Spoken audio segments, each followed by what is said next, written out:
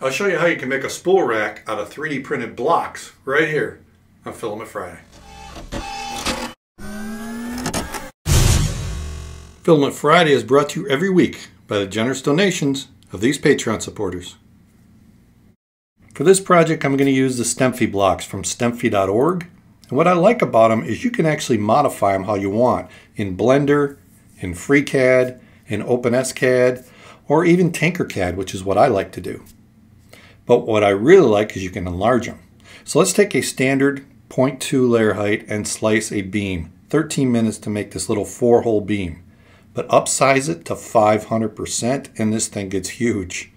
On an Ender 3, I got to turn it at an angle in order to print it. So just rotate it. I'm going to go, let's just say 41 degrees. It fits, and now I can print this thing. But it's going to take a lot longer. 7 hours and 22 minutes just to print this one beam and a lot more plastic. So I put my print farm to work. I have an Ender 3 Max, an Ender 3 V2, an Ender 3 Pro, and an Ender 3 Standard. In addition to this, I have a belt printer, the CR30, which I've showed in previous videos. Here I can print really long ones, including the ones that go off the bed onto the rollers. But that takes more time and I've only got one of those. So what I've been doing is just running my print farm and printing as much as I can because I'm just building a whole set of blocks. Screws, nuts, longer screws, special couplings and spacers, and then a whole bunch of different custom brackets like these angled brackets and really, really long bars so I can build pretty much anything I want. Now what I also did is I took their box beams and then I put threaded nuts on each end. That way they're threaded and I can screw these things together if I want to build something.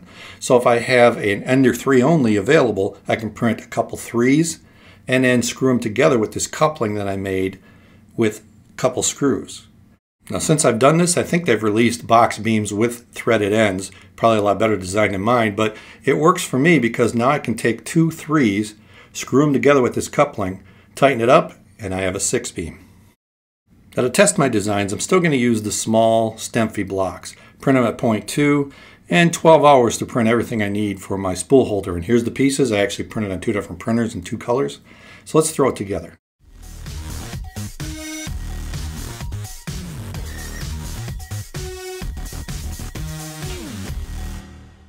Here's the basic design. It's three shelves and the spools will fit between those big box beams. So now I need to go to my shelf with all the big parts and put this same thing together. And here it is, 500% scale of the original. That's quite a difference. And this does use the two piece beams. And these are a lot easier to assemble because these screws fit my hands better. So let's put some spools on this and see if it works.